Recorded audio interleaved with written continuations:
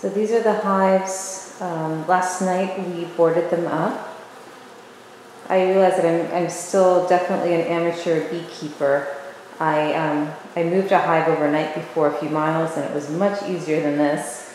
Um, one mistake that I made, I should have put these tops on the, a few days before. So what I did was I put this special top on last night um, there's a grating here and there's some duct tape along the outside just to make sure it's completely sealed. And the same grating and duct tape is on the inside of this hole where I'm going to put the sugar water to keep them busy on the trip. Um, and then this board is nailed in, completely sealed. Um, and this is going to offer them ventilation. I put this on last night, so there was a bunch of these still on the old top so that means we had to corral a bunch of these into the hive before we closed it. And here in the front, um, there's a moving screen. Um, again, also nailed in. We had to do some extra adjustments on the sides to make sure it's completely sealed in.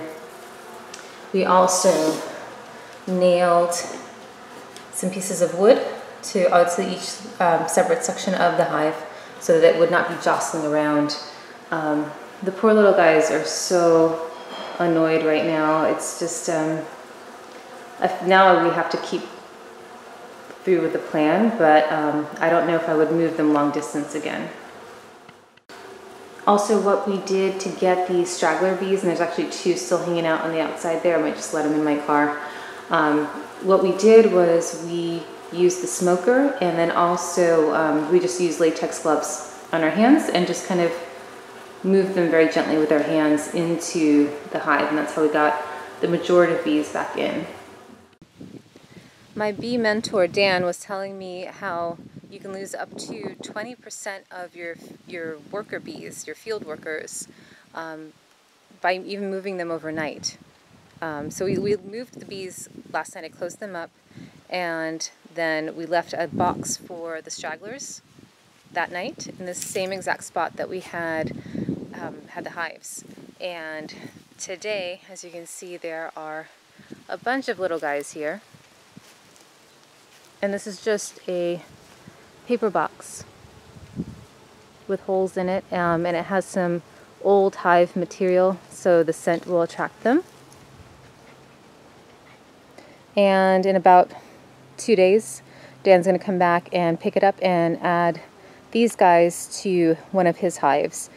Unfortunately, I'm going to be far away at that point or else I could have come back and gotten them. But if you're moving a shorter distance, this is a great way to not lose your worker bees.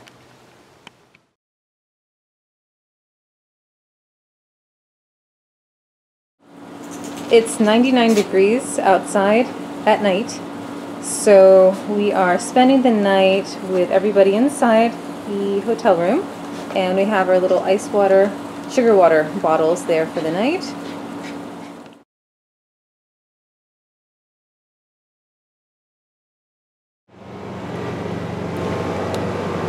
After two nights of sleeping in a hotel room, tonight, uh, 6 o'clock until sunset, the bees get to go out, have some water, go to the bathroom. Um, from what I understand, they don't go to the bathroom in their hive, so they um, were really needing to get out by tonight.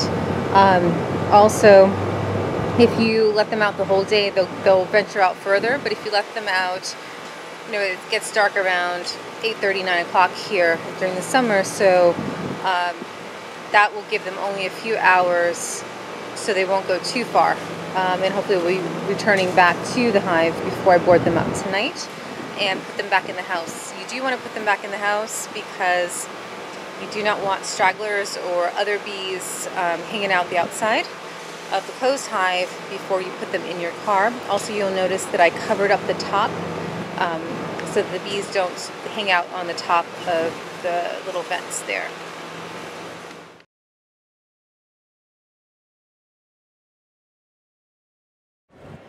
At every stop, I make sure I have either the windows open or the air conditioning on depending on how hot is it is outside and I put the little water, sugar water bottles out for them.